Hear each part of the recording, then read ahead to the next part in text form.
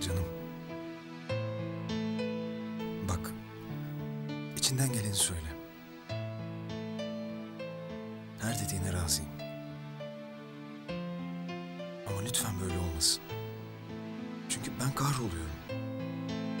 Daha fazla senden uzak olmaya katlanamam. Gümüş. Meselenin Nihan olduğunu biliyorum. İstesen de istemesen de o hep aramızda. Çünkü ondan bir oğlum var benim. Ben oğlunu görme demiyorum. Nihan'la bu kadar sık görüşmenin nedeni ne? Hayatım anlattım ya. Nihan eve gelmediği için Mehmetcan'a bakmak zorunda kaldım. Üstelik yani sandığın gibi Nihan'la aramız iyi değil. Konuşmuyor musunuz? Konuşuyoruz da kavga ederek.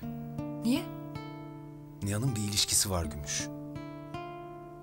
Ee, Biriyle görüşüyor ve bu durum beni rahatsız ediyor. Oğluma bir üvey baba geliyor Gümüş. Bunun benim için ne demek olduğunu bir düşünsene. İki gündür içim içimi yiyor. bunun olması çok doğal. Eninde sonunda bir gün Nihan evlenecek. Sanırım buna henüz hazır değilim. Yani bu ihtimali hiç düşünmemiştim. Nihan senin hazır olmanı mı bekleyecek? Yani yine de önceden bu meseleleri konuşmalıydık. Konuşunca ne değişecek?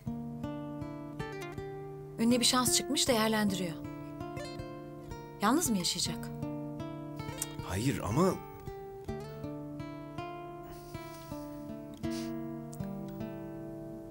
Bilmiyorum Gümüş. Nihan'ın başkasıyla olması... Ben seni anladım. Niye anladın Gümüş? Senin derdin üvey baba olmak falan değil ki. Sen Nihan'ı kıskanıyorsun.